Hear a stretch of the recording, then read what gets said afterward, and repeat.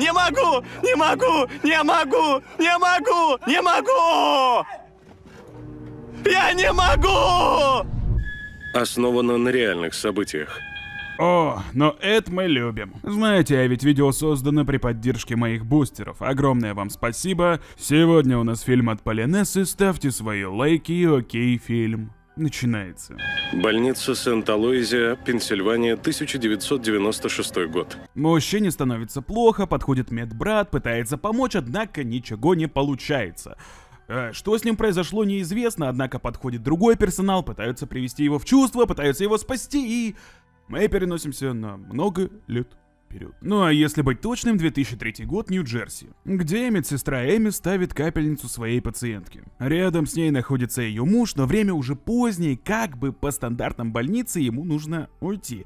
Однако Эми понимает, что, ну, человек в таком состоянии, они муж и жена, не хотят расставаться, поэтому... Хорошо, я никому не скажу. Но проходит совсем немного времени, она, конечно, никому не сказала, однако все равно получила выговор. Ну нельзя, нельзя гостям оставаться. Они же кофе пьют. Начальство кофейные фильтры считает. Видимо, у больницы все очень плохо с бюджетом. Так вот, в больнице скоро появится новый медбрат. Большой стаж работы, все знает, ну, круто чё. Эми идет к другой пациентке, помогает ей, но вдруг... Сердечко начинает шалить. Паническая атака или еще чего, а черт его знает. Эми идет, закрывается за шторкой, дышит и... В принципе, все проходит. Кстати, в личной жизни у Эми все не так хорошо. Она, во-первых, забыла, что такое личная жизнь. У нее два ребенка, а она сама постоянно работает, поэтому с детьми приходится сидеть няни. Естественно, няне тоже нужно платить. Готово, вот держи и 50. И знаете, вот кажется, жизнь не так, не сахар, да? Но проблемы только наседают, потому что с сердечком это не паническая атака была. Это серьезное у нее заболевание. Еще пара месяцев в том же духе может случиться сердечный приступ. Доктор настоятельно просит взять отпуск. Однако какой отпуск? У меня даже нет медицинской страховки, поэтому еще пара месяцев и... Тогда я смогу встать в очередь на трансплантацию, говорит Эми. Вытерев слезы, Эми вновь отправляется на работу. И вот он, новый медбрат. Давайте познакомимся с ним. Это Чарли, и он очень хороший человек. Ну, по крайней мере, первое впечатление складывается именно такое. Эми показывает ему, как у них там все работает, что вот нужно заносить в компьютер, ну вот это стандартная процедура. Также Эми знакомит Чарли с бабулей и ее мужем, и видно, что Чарли начинает заботиться о бабуле сразу же. Видно, что у него действительно большой опыт работы. Помимо того, что у него большой опыт работы, он много какие больницы сменил. И вот в одной из больниц работает однокурсница Эми. Прикиньте, какое совпадение. Работают Эми и Чарли в ночную смену, и тут во время перекуса мужчине нужно в туалет, и как бы Эми должна побежать.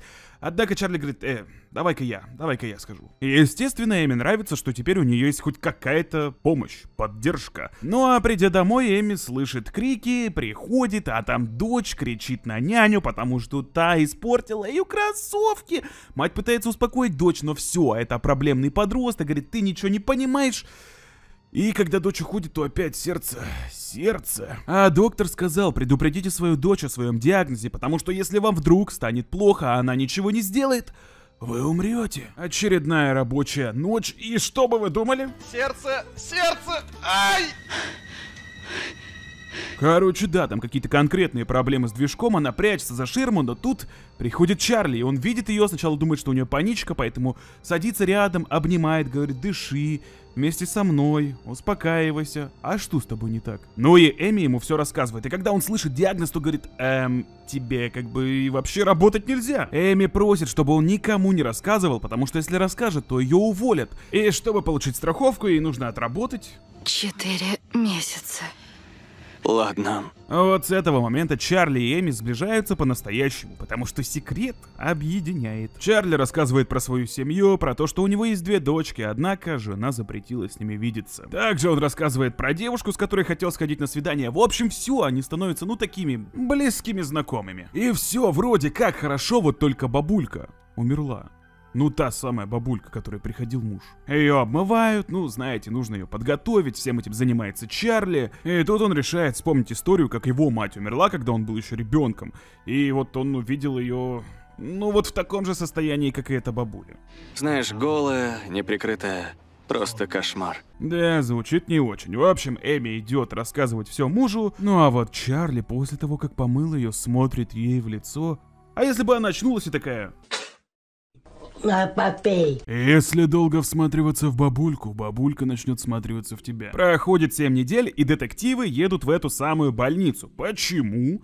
А потому что бабулька умерла при каких-то странных обстоятельствах. И казалось бы, 77 лет, но возможно сердечко уже просто не выдержало, и сама больница говорит, да это несчастный случай, но по протоколу мы обязаны вас вызвать.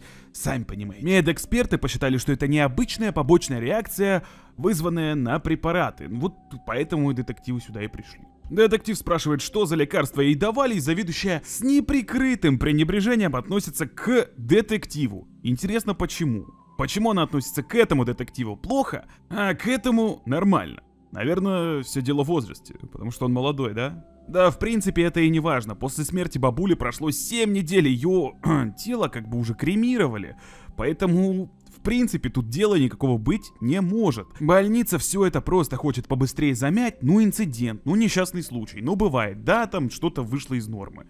Неважно. Тем временем Чарли становится другом семьи, он сидит с девочками, он вместе со старшей учит стихи какие-то, они там типа делают сценку, и вообще, блин, прикольно. Эми выглядит счастливой, вроде как все налаживается еще два месяца, и трансплантация, скажем так, будет доступна, в общем, здорово и классно. Не здорово только детективам, они начинают рыться в базе данных, а кто у них там, медбратья, медсестры, ну нужно всех проверить, сами понимаете. И натыкаются на Чарльза, который совсем недавно пришел на работу. Когда смотрит его дело, оказывается, у него уже были приводы. И, позвонив куда нужно, чтобы поднять старое дело Чарли, Тут какая-то записка приклеена. Дигоксин. а еще у Чарли незаконное вторжение, а еще у Чарли преследование, Однако потом все обвинения были сняты. Молодой детектив предполагает, что именно больница тормозит расследование, потому что это, блин, невыгодно, и в принципе тут тяжело не согласиться. Несчастный случай или убийство, которое просто пытаются замять. А знаете в чем еще прикол? Больница делает собрание и говорит всем сотрудникам, что если детективы начнут вас расспрашивать,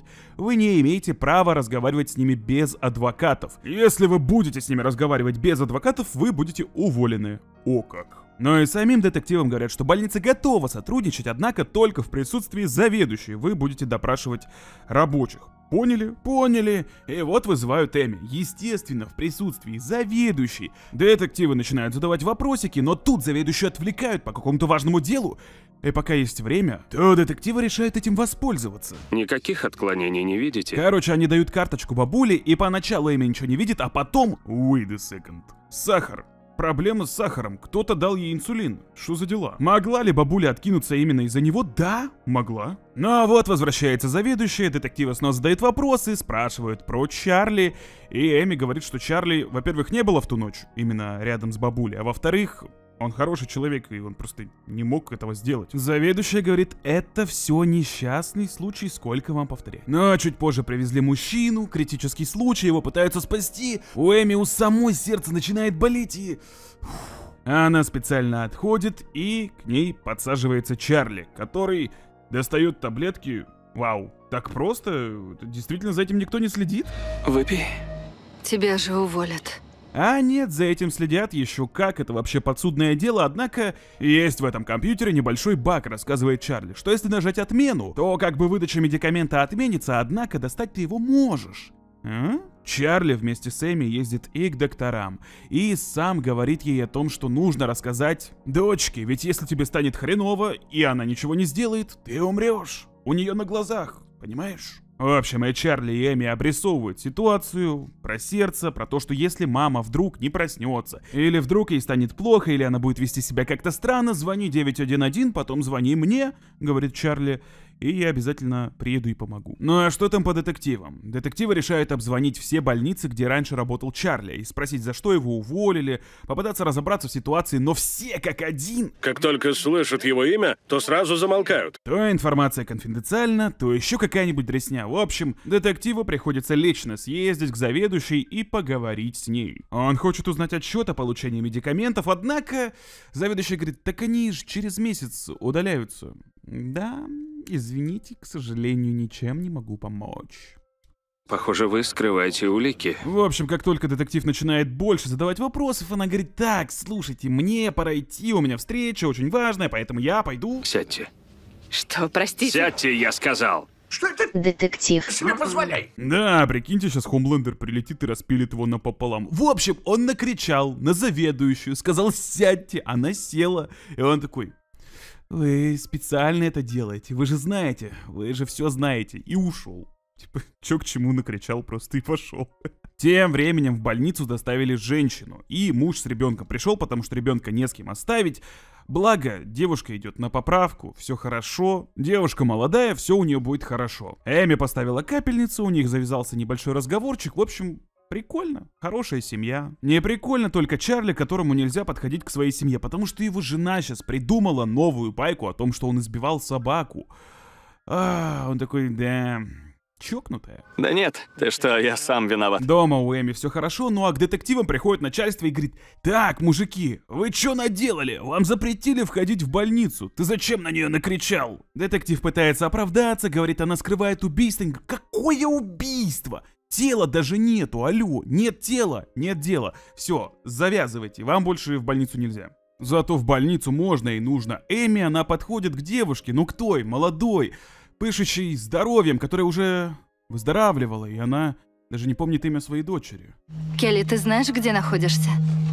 Давай, сожми мне пальцы. Буквально несколько минут, Эми ничего не может понять, и девушка погибает. Вот тут я прифигел, если честно, потому что если бабулька 70-летняя умирает, ты такой типа, ну, бабулька. А тут молодая девушка, которая вот только что там говорила про то, какая у нее семья хорошая, и все классно и здорово. А вот уже Эми говорит ее мужу то, что все, все. Честно говоря, это и странно, и жутко, и Чарли неподалеку. Детективы приезжают к Эми, ведь в больничку им нельзя, и хотят выяснить... Простите, ребята, я не знаю, что с ней случилось. С кем? А вы зачем пришли? Довольно странная ситуация. Ну, в общем, Эми рассказывает про новую жертву или несчастный случай. Пока что неизвестно. Детективы все расспрашивают про Чарли, но Эми говорит, я его знаю, прекрасно знаю, хорошо знаю. Это... Это просто не может быть он. Но Эми прошу вас задуматься, потому что его уволили из девяти больниц, и никто нам ничего внятного о нем не может рассказать. Детективы уходят, ну а у Эми начинают появляться подозрения. Чё-то Чарли ходит, что-то смотрит. И знаете, кто может дать ей ответы на все вопросы, ну или хотя бы на интересующие? Так это же ее однокурсница, которая работала вместе с Чарли. Встретившись, немножко поговорив, конечно, Эми начинает задавать тот самый вопрос. А Чарли, ты же его знаешь? Почему его уволили? Про него ходил один слух, что он виноват в чьей-то смерти. Как-то много совпадений. А знаете, от чего умерла жертва? От инсулина. Говорят, что он протыкал капельницы, вливал туда инсулин, из-за чего потом люди погибали. Знаете, что самое жуткое? Никто даже и не подумал на Чарли. Просто, когда его уволили, резко смерти прекратились. Были смерти каждую ночь, а потом смерти раз в месяц. Эми шокирует эта информация, она бежит скорее проверить все капельницы, начинает их давить. Давит одну, вторую, третью и... Ну вот и с этого момента мне реально стало интересно смотреть фильм, потому что все улики показывают на Чарли, однако Эми настолько быстро бежала, что сердечко у нее... В общем, она падает в обморок. Благо, в обморок она падает в больнице, поэтому ей смогли помочь, и когда она очнулась, то видит Чарли. Привет. Я проведал девочек. Сними Джеки. Я привезу их, если хочешь. Нет. Нет? Ладно. Эми понимает, что все это сделал он, и поэтому рядом с ней убийца. Она хочет как можно быстрее отсюда свалить, свалить от него, а однако ей приходится согласиться, чтобы он довез ее до дома. Прикиньте, как ей было некомфортно. А когда он сказал про девочек? Итак, Эми решает сотрудничать с полицией, однако нет тела, нет дела. Бабулю кремировали и что? На этом конец? Однако есть одно тело, но вы же помните.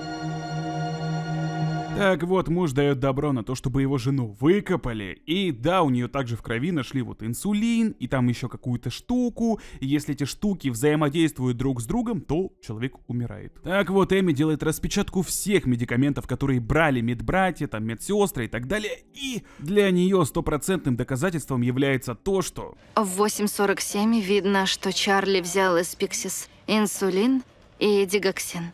Но как взял? Там написано, что отмена. Однако вы же помните этот лайфхак, если ты отменяешь в последний момент, то пишется вроде отмена, однако взять Что инсулин, что дигоксин он мог. Для Эми это все стопроцентное доказательство. Для детективов это все недостаточные улики. Баг системы? Серьезно? Детективы одного понять не могут, почему заведующая не поняла, что он и является убийцей, и что он все это как бы делает. Да ладно вам. Линда Гаррен была медсестрой. Она все поняла. О, как. И действительно, она вызывает к себе Чарли и увольняет его по причине того, что он поставил не ту дату. Ну, типа, просто он поставил не ту дату, когда он работал на прошлом месте. Это является все существенной причиной для того, чтобы его уволить. Извините, Чарли, мы вас увольняем. Все, вот так вот. И вот эта вот заведующая Линда, она прямо точь-в-точь, как из пацанов. То есть свою компанию там максимально как-то прикрыть, все сделать по-тихому, несчастный случай, этого мы увольняем на всякий случай. Все, все, все, все, все. Главное, чтобы никакой шумихи, никакого скандала не было. Затем детектив детективам рассказывают, что Чарли уволили, поэтому никакой проблемы не будет. Однако Эми говорит, в смысле? Так он же устроится в другую больницу, и это будет продолжаться. Короче, ничего они так порешать и не смогли. Эми возвращается домой, кто-то приготовил вкусно покушать. Чарли? Да, Чарли пришел к ней домой, отпустил няню и сам тусовался с девочками. Эми просит девочек выйти, потому что они все в опасности. Девочки выходить не хотят, она уже на них кричит. Они остаются наедине с Чарли, и он спрашивает. Кажется, ты уже в курсе. Но на самом деле в курсе увольнения. Мол, его уволили вообще ни за что. Еще бывшая жена пилит, и кажется вообще, у Чарли черная полоса в жизни. Он уже чуть ли не плачет, говорит, как ему плохо, и Эми такая... Блин, я, конечно, тебя понимаю, очень, очень жаль. Чарли спрашивает, могу ли я у тебя остаться, я могу помогать по дому, все будет круто и здорово. Но Эми так плавненько его сливает. И ты хорошая мама. Короче, момент напряженный, ведь Чарли является убийцей.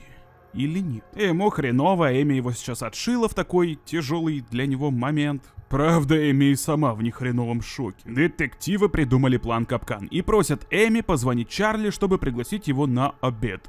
Когда он берет трубку, он плачет, ему прямо плохо, хреново. Но Эми такая, да пойдем вместе покушаем. И, конечно, он соглашается, они встречаются в кафешке, а на ней уже прослушка. Ее дело выманить, выдавить из него признание. Когда они встречаются, а это было в субботу, уже через пару дней, Эми видит, что на нем медбратский халат, и он говорит, да, я устроился в другую больницу, прикинь, повезло. А в общем, как-то слово за слово, однако Эми, как вы помните, здесь только за одним. Выдавить из него признание. Все, что говорят, правда? Мне все равно, если бы это был ты. Ты мог объяснить? Тут Чарли выходит из себя, когда Эми начинает его подозревать. Его подруга считает, что все эти слухи это правда. Он молчит. Эми спрашивает, так правда или нет? Так правда? Так правда? Мне пора. Со слезами на глазах Чарли уезжает, потому что единственный его близкий друг его подозревает. Когда детективы подходят к Эми, она говорит, господи, надавила слишком сильно. Он же сейчас поедет на работу, он кого-нибудь еще убьет, быстрее остановите его. И да, его действительно останавливают. Морда в пол, наручники, однако его задержать могут только на два дня, как подозреваемого. Потому что никаких улик, ну, у детективов нет. Поэтому сейчас из него нужно выбить Признание. Детективы начинают издалека, играют в хороший коп и очень хороший коп, начинают расспрашивать и так далее, зачем ты все это сделал. Он говорит, я не могу вам сказать ничего, без адвоката, так мне сказали в больнице. Однако, чел, тебя уже уволили оттуда, поэтому давай, рассказывай все. Мы знаем, ты убил Келли Андерсон. Детективы давят, и давят, и давят, и давят. Он говорит, я не могу, я не могу, я не могу. В общем, он психует, начинает кричать и... Я не могу! Да, вывели они Чарли из себя, и посмотрите на его руку, это явно не татуировка. Так вот, детективы говорят то, что, ну, походу его выпустят, потому что он не сломается, он ничего нам не рассказывает. Ах, вариантов нет. И тогда Эми решает сама приехать Чарли и поговорить с ним. А она ведь все-таки его подруга, и действительно она к нему приезжает. Ей говорят то, что не надо его трогать, вообще, ни пальцем. Однако, она накрывает его пледиком, начинает подружески разговаривать, начинает спрашивать, как он, спрашивать, одиноко ли ему. И признается, что это она все рассказала полиции. Да, да. Наверное, тебе было ужасно одиноко. Так вот Эми так долго давит, маринует прямо Чарли, говорит, как ты мог убить, ты же такой хороший. Ну как, мне нужно признание, скажи, это ты? И вот он смотрит ей в глаза, понимает, что она его предала. И Что я должен сделать? Эми вытягивает из него, и он говорит, да, да, это я убил всех. Да. Естественно, этого недостаточно, поэтому Эми говорит, назови, кого ты именно убил. Он такой, ну вот там бабку эту, Кристи. Да, я, да. И что вы думаете? Да, Чарли сажают, но чтобы избежать смертельного приговора, он становится тем самым донором для Эми, ей пересаживают вот эти тромбы. Да, короче, эти штуки для сердца просто здесь не показываются, здесь только надписи, а через 18 лет оказывается, что это боговал компьютер, и он просто взял на себя вину, потому что Эми, ну, его была подруга, он- я не знаю, что с ним такое. Я бы охуел, если бы все действительно было так. Ребята, я вас обманул. Только что вот так. Произошел такой небольшой пранк. Короче, рассказываю свою историю с этим фильмом. Я когда только начал его смотреть, и вот эта вот история про сердце, я ничего не знал про этот фильм, его посоветовала Полинесса, ничего не знал про этот фильм, и вот история с сердцем, и все такие думают на вот этого вот медбрата, а на самом деле он хороший, в конце пожертвует свое сердце. Ну это же история по реальной жизни. Будь это фильм, да, Тогда бы, конечно. Э, В итоге оказалось, что он ни в чем не виновен. И на самом деле Эми, короче, думала на него, а он сердце-то ей в итоге свое отдал. Хрен-то там. У меня реально были мурашки по коже от этого момента. Я, во-первых, действительно до последнего думал, то, что он признался просто потому, что, скажем так, попросила Эми, типа у него там какие-то проблемы с психикой. Но вот просто после этого момента я понял, что это все правда. Зачем? Они меня не остановили. Чтобы избежать смертного приговора, Чарли Каллен признался в 29 убийствах. Считается, что его жертвами стало около 400 человек. Короче, да, как итог, он типа реально шизик убийца. Только он сам не знает, зачем он убивал, потому что он в итоге так и не смог объяснить причину своих действий. Посадили его до 2400 года, в общем, не выйдет, скорее всего, не в ближайшее время. Ну а с Энни-то что? Дочка будет ее поутру, а она просыпается. Все хорошо, не волнуйтесь. По итогу ей все-таки сделали трансплантацию, и она осталась good nurse. Тут, короче, игра слов. Она все еще хорошая медсестра. Но типа Good News это название этого фильма, и Good News можно перевести как хороший медбрат, ну типа тут нету пола, или хорошая медсестра. И вот ты весь фильм думаешь, что, что Good News это как раз таки Чарли, а в конце оказывается, что Good News это как раз таки Эми. Так, ну что могу сказать по поводу этого фильма? Вообще вот говорю, первую половину я думал, что все супер банально, что в конце будет драма, на- навалят прям такие драмы, то что вот он пожертвует свое сердце, реальная история, жесть. Потом в середине фильма, когда все улики показывали на Чарли, все улики, просто вот там не отвертеться, я такой, да ну. Ну то есть им придется его сделать реально убийцей, потому что, ну, тут такие улики, от которых не отвертишься.